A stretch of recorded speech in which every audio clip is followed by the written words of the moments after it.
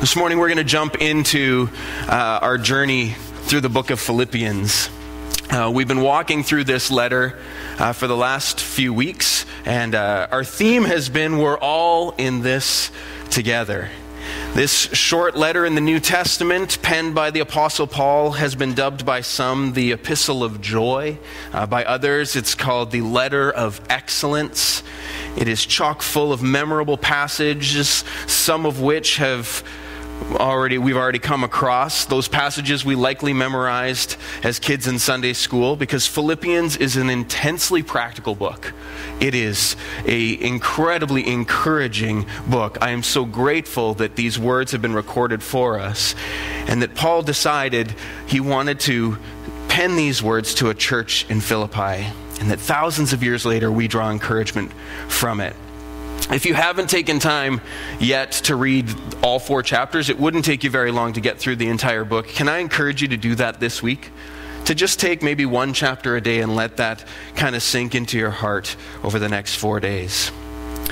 We are smack in the middle of chapter two this morning. If you need to get caught up, um, each message, the last three messages were about 30 minutes long. Uh, you can find them on YouTube under the Grace Community channel, or if you just go straight to our website, you can find a link to them there.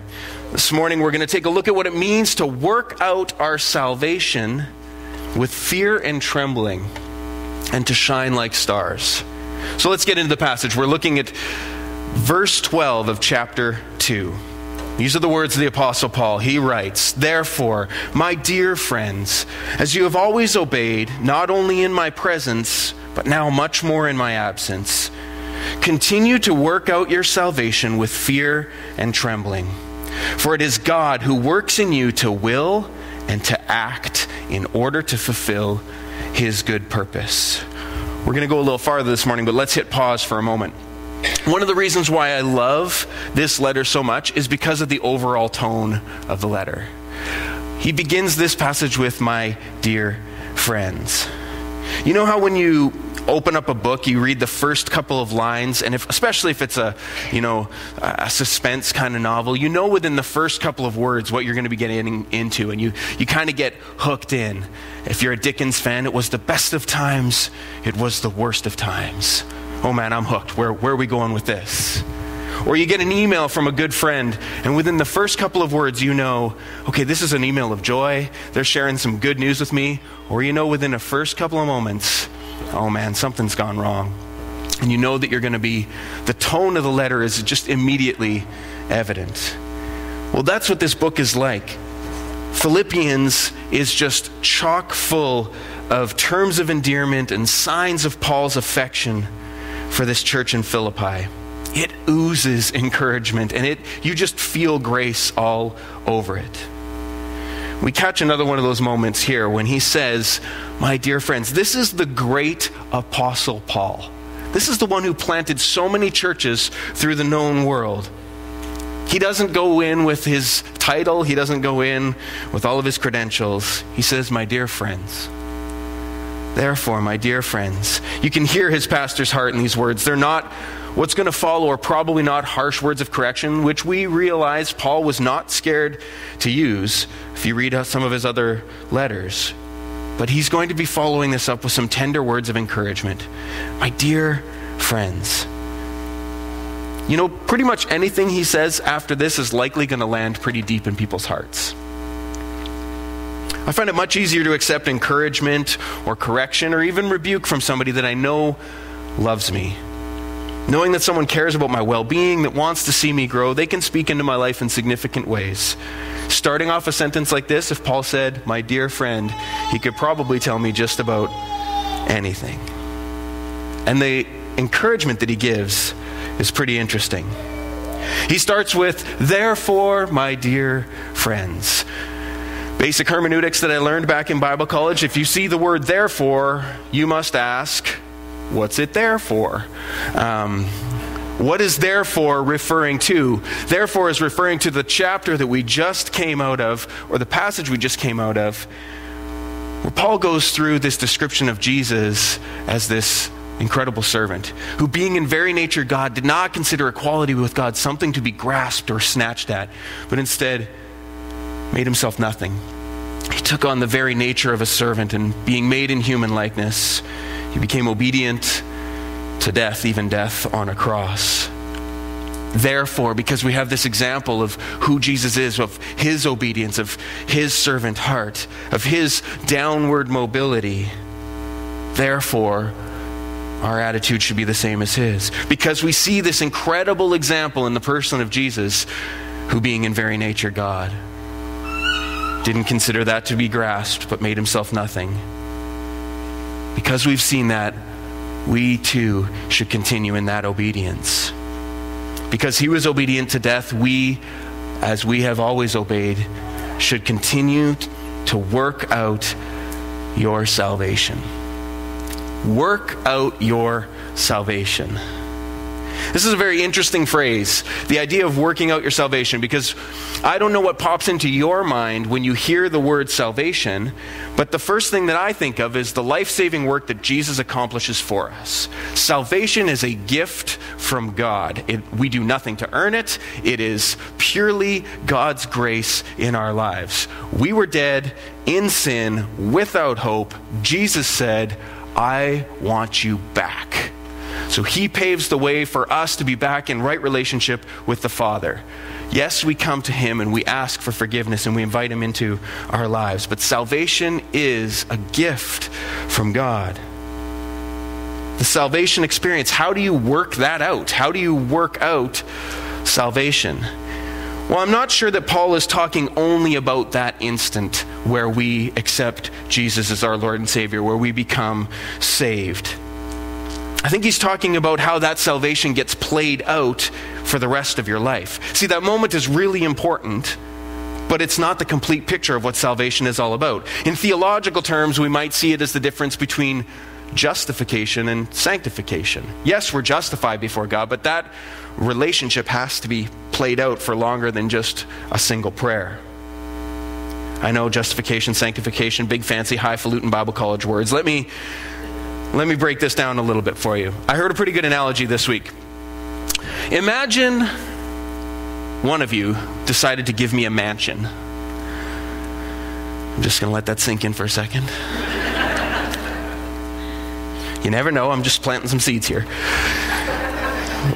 Let's say you decided to gift me a mansion. Could you imagine? No, I can't even imagine. You give me a mansion and you transfer the deed of ownership over to me, and I own it outright. No strings attached. It is completely mine. You say, This is now yours. I own this mansion. There's no liens against the property. There's no discussion of how I'm going to pay you back. It's, This is my gift to you. Not rent to own. You just say, Here is 60,000 square feet of mansion. And all I can do is say thank you.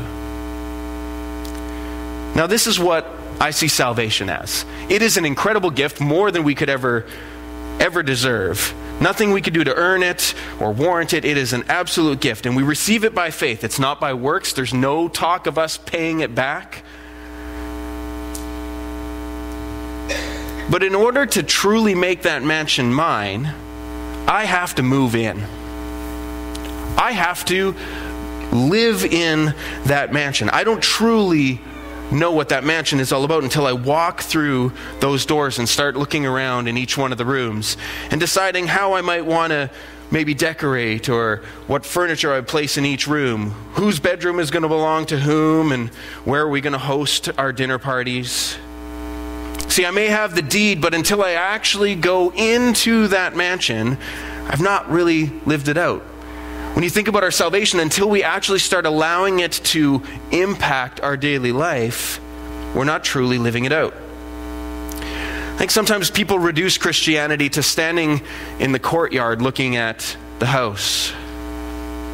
We know a lot about Jesus. We know a lot about who God is. We, we see the mansion we dis- discuss its beautiful architecture, but we don't live there. It doesn't significantly impact our daily lives. It's if, as if we stand on the front line and admire its beauty, but never set foot inside. We know a lot about what a relationship with Jesus looks like, but we don't actually enter into one.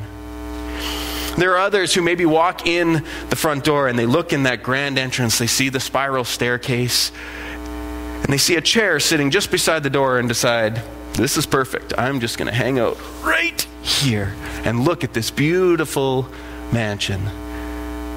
There's, I bet there's dozens of rooms here, but never leaving the safety of that entrance.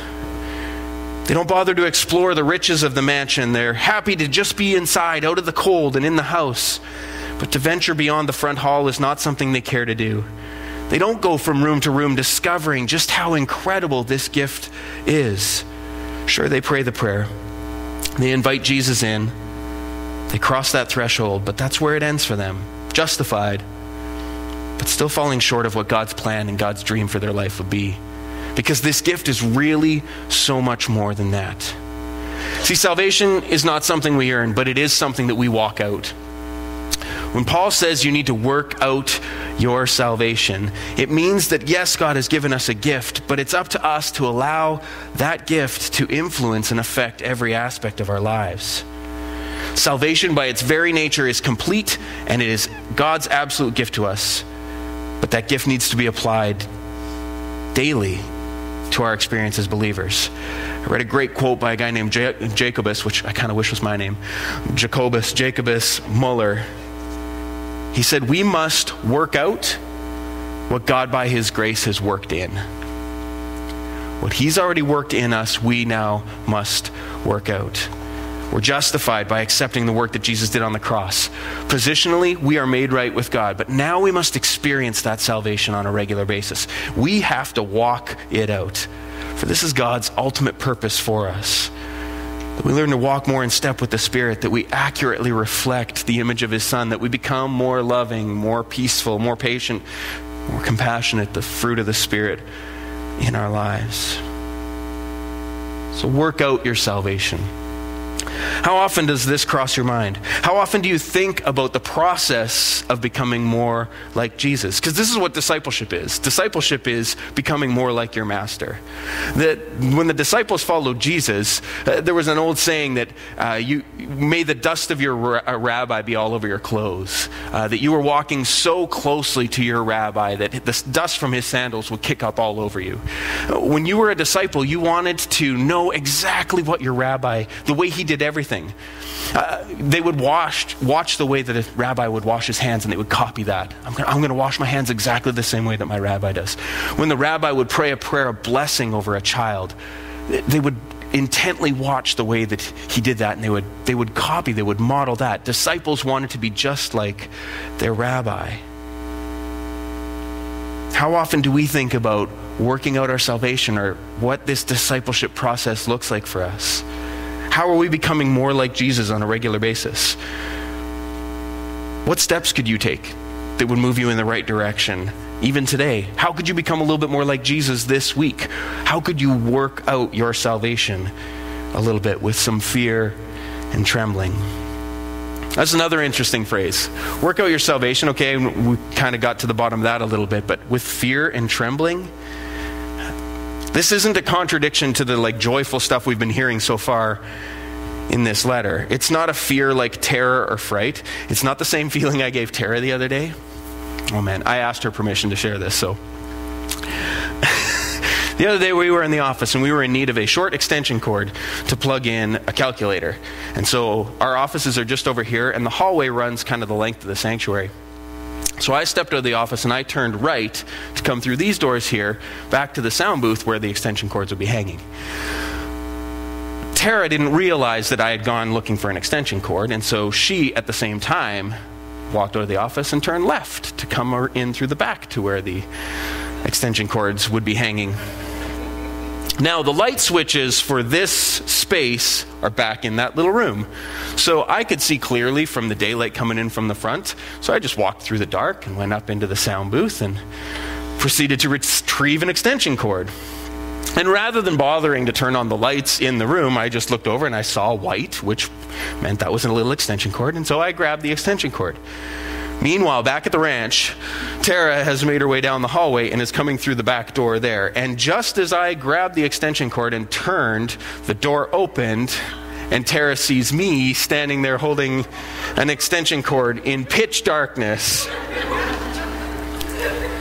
She may have screamed. Her heart may still have been racing five minutes later in the office. There was some fear and trembling for Tara the other morning. Now, this is not the type of fear and trembling that Paul's talking about. It's not the same thing as having your wits scared out of you or having somebody jump up behind you out of a dark corner. The phrase with fear and trembling might be better translated in our language with a word like reverence and responsibility. With, with a deep sense that this gift that's been given to us requires some attention and requires us to tremble even at the thought of our own sin. I don't think that it's a fear that worries that we're going to be cast out of the mansion. I don't think that it's a fear that worries that somehow we're going to not be able to pay back this incredible gift that's been given to us. But it's a fear that takes care to respect this gift that's been given. This was not given to us easily. Our salvation was bought and paid for by the death of God's own Son. And that death was not a pleasant death. It was not anything easy. I think sometimes when we think of Jesus as being the Son of God, we think of him being God, we don't realize how painful that cross would have been for a human being, as Jesus was, to go through on our behalf. So, working out our salvation with fear and trembling means that we don't take sin lightly. Maybe when we think about our mansion, we realize that when we walk in, we are meant to take care of this space. We are meant to clean it. We are meant to make sure that it doesn't fall into disrepair.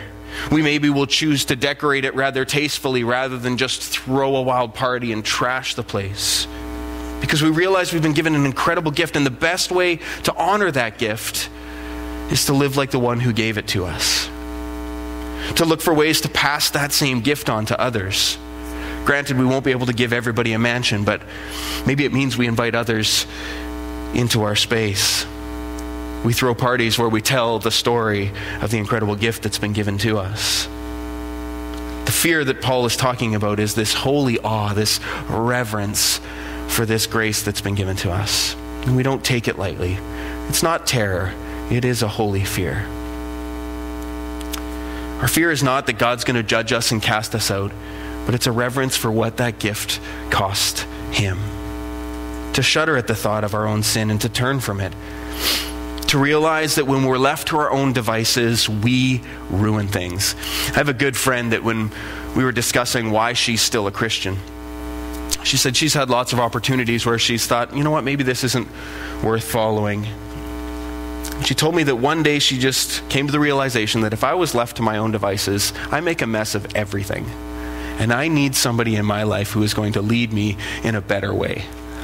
And it's true. If we're left to our own devices, to our own selfishness, we will make a mess of everything. So work out your salvation with fear and trembling because this is an incredible gift of God. I love the way that this verse wraps up. It says, For it is God who works in you to will and to act in order to fulfill his good purpose. Oh man, that's another good bit of news right there. Work out your salvation with fear and trembling. Be in awe of who God is and this gift that he's given you, and respect that gift enough to work out the sin and muck in your life. But you're not doing it alone. It's not even your job to get rid of it all by yourself. Even in the midst of our working things out with fear and trembling, God is at work in us. It's comforting to me that God doesn't ask me to do anything He's not already equipped me to do. He'll not ask me to do something that's impossible. It may not be easy, it may not be fun, but it will be possible with Him at work in my life. So as we surrender to God, inviting Him to do this work in us, it's His Spirit that prompts and nudges us. It's His Spirit that fix us when we choose to go our own way. When we work out our salvation with fear and trembling, He works in our hearts to accomplish His will. To make us more like himself. That w- phrase works in you is the Greek word there is where we get the word, English word energy from This idea that there's this energy, this, this substance about what's going on inside of us that makes us want to move forward and accomplish his purpose. And it's God's energy alive and working in us. It's not our own, it's not anything we drum up. Because sometimes our will alone is not enough to see significant change in us. I don't know if you've ever said, This is the last time I'm ever doing this, only to two days later be asking God to forgive you. It is the work of God. He gives us the energy to continue that fight. It's essentially a partnership that we enter into in which our partner happens to have unlimited resources, unlimited strength, and unlimited will to accomplish what he wants to accomplish in us. Pretty good deal for us. What it requires, though, is us submitting, being willing to walk across the threshold and move into that mansion. So, how is God at work in you as you work out your salvation? Where do you see his fingerprints in your life? Where is he convicting you? Where is he encouraging? How are you becoming more like Jesus as he does this work in your heart? Work out your salvation with fear and trembling, for it's God that's at work in you. Let's carry on. Paul continues to write, he says, Do everything without grumbling or arguing, so that you may become blameless and pure, children of God without fault in a warped and crooked generation then you will shine among them like stars in the sky as you hold firmly to the word of life. Do everything without grumbling or arguing. I cannot tell you how many times we have quoted this to our kids. Please go vacuum the basement and do everything without grumbling or arguing. Perhaps taking a little bit out of context. But Brandon and I used to say on, also on a regular basis, whining is not cool. So when it's really hard to say that to a two year old that's not really understanding what you're saying, but grumbling and arguing. Nobody likes being around somebody that is always grumbling or somebody that is argumentative. You wouldn't want to be part of a church that operates like that. You don't like being around other people who are lacking in joy and looking for a fight. But there is something attractive about a group of people that get along. There's something that speaks to people's hearts in the midst of unity. When people are united, when they're not grumbling or arguing, there is this sense that there's no fingers to be pointed, blameless and pure. Often people do point a finger at the church and say, well, they can't even get along with each other. Why would I want to be a part of something like that? Scripture also says how good and pleasant it is when people dwell in unity. Because unity removes that blemish. It helps us to stand out when we, when we choose to serve one another, when we choose to love one another. He says, Then you will shine among them like stars in the sky. It's interesting here. He doesn't, he doesn't tell them to shine, he doesn't encourage them to shine or command them to shine. He just reminds them that they already do. When you do this, you're going to shine. As followers of Jesus, who is the light of the world, we represent and replicate and reflect that same light. We, in turn, shine like stars. We reveal a different way of life. We, we shine. We make them wonder what's going on in our lives. As the newsboy said, make them wonder what you got. Followers of Jesus should be the most attractive people in the world. And not attractive in the sense of our media obsession with youth and outward beauty. I mean, attractive in the sense that when you see someone who follows Jesus closely, you want what they have. You want to experience that same joy and peace because they shine like stars. There are a handful of people that I have either read or have watched um, them follow Jesus that I just I can't wait to have a conversation with them one day about what it meant to follow Jesus so closely. When I look at a life like Rich Mullins, who could have could have been a millionaire, could have just I mean he wrote Awesome God, he wrote just a number of tunes that would have put him into superstardom and yet he built a house on a reserve in the states and taught music to poor children. Every time he got on stage, he wore jeans, a t shirt, and no shoes. He was in bare feet. And on his tombstone, it says, There's a ragamuffin loose on the streets of gold. He's barefoot, he's dancing, he's home. could have gone for all the fame and glory and fortune, yet chose to follow Jesus in downward mobility. That's attractive to me. I want to know Jesus the way Rich knew Jesus. I want to work out my salvation and shine because the world needs to see a different way. The world needs to see this light. They, they need to see hope. They need to see love. They need to see grace. The, the language he uses there, he puts in brackets, children of God without fault in a warped and crooked generation. He's hearkening back to some of the Old Testament passages that described what world was like after the sin of Adam and our rebellion when we choose our own way, the arrogance and folly of disobedience, when we decide to walk away from God and go our own direction. You don't have to look far to find darkness in the world. Turn on the news, and I guarantee you'll hear story after story of where darkness seems to reign, where there seems to be little light. Well, that's where we need to be. That's where the church needs to be. That's where Christians need to be, bringing light into dark places, bringers of hope and peace and love when we hold firmly to the word of life, living out this good news, embodying the gospel, we shine like stars. People will notice something different about us when we choose to live according to God's ways. Because that's God's plan. God's plan is for us to reveal his goodness and grace. Reflecting mercy and love to a world that has often experienced judgment and hate. When you walk out of those doors, this afternoon, you have the opportunity to bring life into the world. And you can choose to allow God to so work in and through you that people experience grace and love in tangible ways. Our lives can reflect the good work that the Spirit is doing in us. And when we do, we shine like stars. And people are drawn to that. People want to experience that. So do everything without grumbling or arguing so that you can become blameless and pure children of God without fault in a warped and crooked generation. Then you'll shine among them like stars in the sky as you hold firmly to the word. Paul wraps up this little bit here with, and then I'll be able to boast on the day of Christ Jesus that I did not run or labor in vain. But even if I'm being poured out like a drink offering on the sacrifice and service coming from your faith, I am glad. And I rejoice with all of you so you too should be glad and rejoice with me.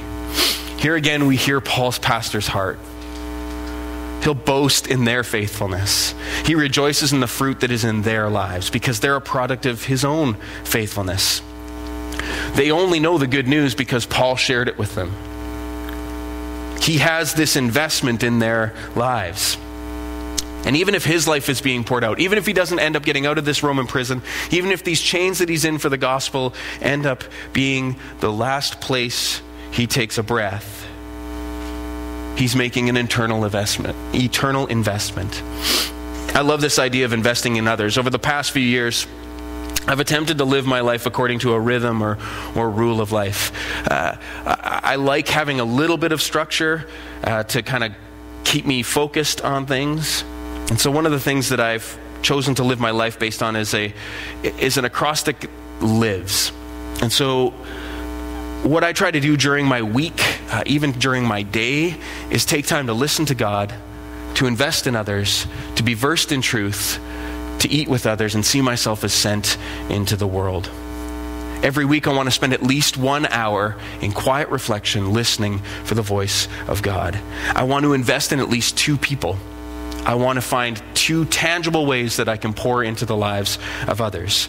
I've tried to shape this around one person who already knows Jesus and one person who doesn't yet know him. First, in truth, I, I spend time reading at least three things that challenge me. So, one of those is always scripture. One is some sort of devotional reading that will challenge my own heart. And then one is just, right now I'm reading a book on creativity by the, uh, by the president of Pixar who did cars and toys and all those things and talking about how to, how to manage creativity, something that challenges my thinking. And then I eat with at least two people during the week. Usually that ends up being over coffee. Same idea one person who knows Jesus and one who doesn't. And then all of these things are wrapped up in seeing myself as sent into this world. I exist not for myself, I exist to serve others. And the first two of these things are mentioned in Paul's passage here to, to listen to God, to allow Him to work out this stuff in us, and then to invest in others. See, my faith should be being reproduced in the lives of other people because I can't be living only for myself. I need to live for the sake of other people as well. My faith shouldn't only bear fruit in my own life, but needs to be bearing fruit in the lives of those around me. Because sometimes I can get so focused on working out my own salvation that I forget about those around me and the journey that they're on. So, how, like the Apostle Paul, could I be poured out this week? How could I invest in someone else? I rejoice when I hear of someone digging into Scripture because of something they heard me say or saw me do, even if it is to challenge me on what I happen to say. I remember doing a baptism for one of the youth uh, in Carman, and uh, he was one of those kids that sat in the back during youth and never paid attention. I actually threw a tennis ball at him and his buddy because they were talking one, during one of my messages. And uh, I remember thinking, this kid's not getting anything out of it. And then the day that he got baptized, he got up and when he was sharing his testimony, he shared three points from a sermon that I had preached six months earlier that had spoken to him, that had challenged his heart. We don't always realize the investment that we're making. But I rejoiced on that day when I was like, oh man, he, maybe I shouldn't have thrown a tennis ball at him. or when somebody's being more loving because of something they witnessed or, or heard in my own life that challenged them. That brings joy to my heart, and that's what Paul was saying. He didn't want to run or labor in vain. He didn't want to have invested in these people only to have them fall away and to not live out their full potential. As a pastor, that's what I want for this congregation. I want each of you to experience Jesus in a way that he changes your life in every aspect. I want you to experience what it's like to be able to use your gifts and your abilities to pour into somebody else's life. There is nothing more rewarding than seeing somebody else blessed because God worked through you. So, who are you pouring into right now? Who are you investing in on a regular basis? Who could you pour into this week? Can I challenge you to find two people to pour into this week? Maybe it means grabbing a cup of coffee. Maybe it means sending an email or a note of encouragement. Maybe it means that when you're already having a conversation with someone, you listen to that still small voice of the Spirit that would say, you know what? They need to hear this. I wasn't planning on sharing this part, but uh, last fall I ran into a friend that I had gone to Bible college with. He was sitting outside Starbucks in Osborne Village. We're good friends. We connect every once in a while. Uh, but I saw him sitting there and he was reading. Uh, I know he's a pastor, so he's probably studying, and I didn't really want to interrupt him. So I just walked up to him and I put my arms around him and I gave him a great big squeeze. And then I kissed him on top of the head. And then I walked away and I was like, why did I just kiss him on top of the head? Like, if you know me, that's not, that's not me. And I, I walked away, I'm like, I'm an idiot. What was that? I got a text message within a couple of hours that what he had been reading and what he had been kind of wrestling with, he was really needing God to show up and remind him that he was loved and that um, that he was God's chosen man for that job. And he said, "I broke down sitting at that stupid Starbucks table when you kissed me on top of the head." I was like, "Okay, so sometimes I'll, I'm willing to look like a fool to invest in the life of somebody else." But maybe you know somebody who's going through a diff- difficult time right now. Maybe you could make plans this week to spend some time together to see how you could maybe bring some strength to them. Maybe it means making supper for them. Maybe it means babysitting their kids, finding ways to invest in the lives of others, because we can do it in really practical ways. See, Paul saw the church in Philippi as an investment in the kingdom. He rejoiced to see them being obedient and following Jesus. And so he encouraged them to rejoice along with him that they were all in this together. So this week, can I encourage you to work out your salvation with fear and trembling and to shine like stars? We're currently in the season of Lent. It began on Wednesday with uh, Ash Wednesday and continues right through till Easter. And I realize that there may be some of you who don't participate in the, this particular season of the traditional church calendar, and that's totally fine. Others of you may find this a very meaningful time of preparation. Growing up in the Anglican church and kind of pushing that sort of tradition aside for a while, As I get a little older, I realize some of the richness of some of that tradition. So, Advent is a huge thing in my life, preparing for the birth of Jesus. And Lent has also become that for me. Because, in the same way that I prepare for this birth of Jesus, I also want to spend some time contemplating his death and resurrection. And there are typically, typically three practices that go on during Lent. And most of you will be familiar with the giving up of something. Usually it's chocolate or ice cream or some other snack that's maybe not all that great for us. In the past, I've chosen to, to give up. Um, well, I've chosen to do 40 days of solidarity with the poor. So I actually gave up food for 40 days a couple of years ago. Not food entirely, but I only ate one meal a day and only ingredients that uh, could be found on the table of a person in a developing country. So I ate a lot of beans, I ate a lot of rice.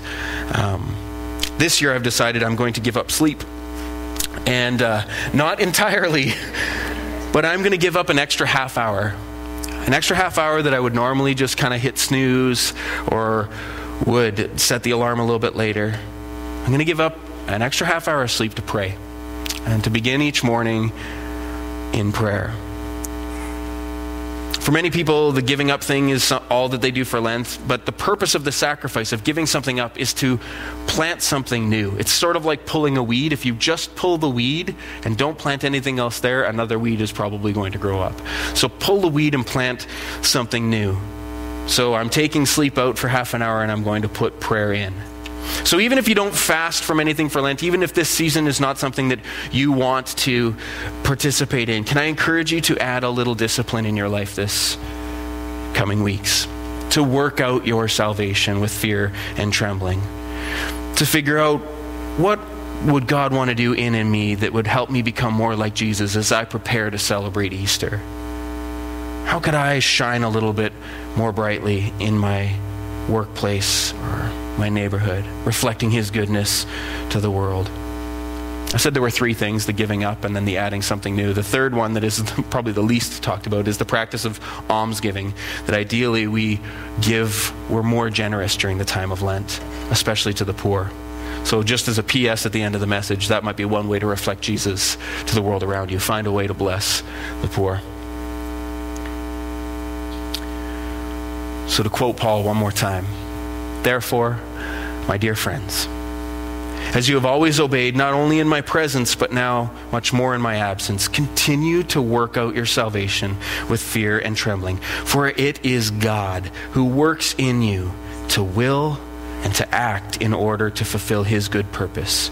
Do everything without grumbling or arguing, so that you may become blameless and pure, children of God without fault in a warped and crooked generation and then you'll shine among them like stars in the sky as you hold firmly to the word of life. And I'll be able to boast on the day of Christ that I did not run or labor in vain.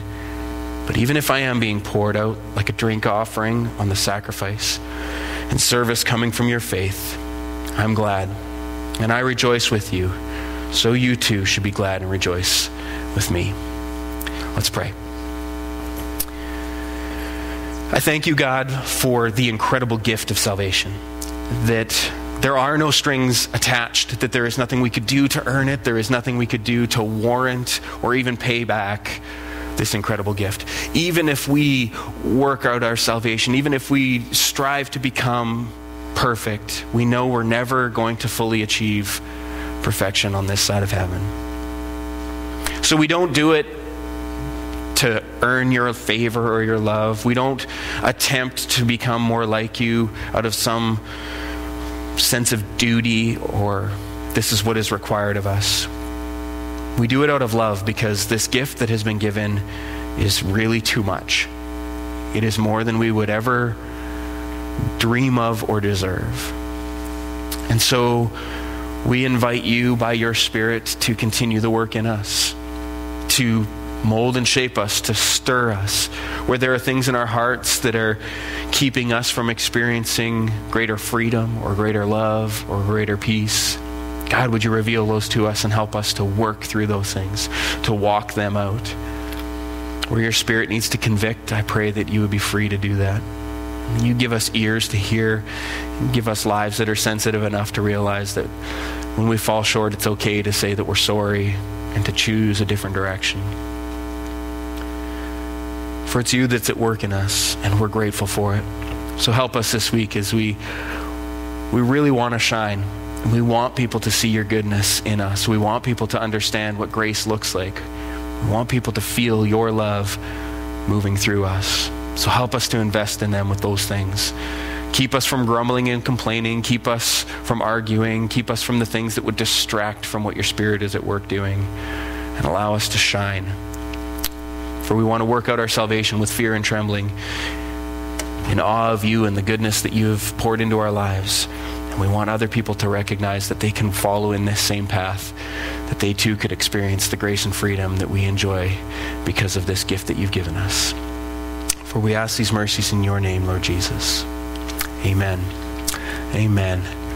And now, may the peace of the Lord Christ go with you wherever he may send you. May he guide you through the wilderness, protect you through the storm. May he bring you home rejoicing at the wonders he has shown you. May he bring you home rejoicing once again into our doors. Amen. Amen.